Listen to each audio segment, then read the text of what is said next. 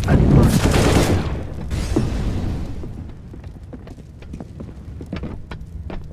in the hole. I'm laying down. Never mind.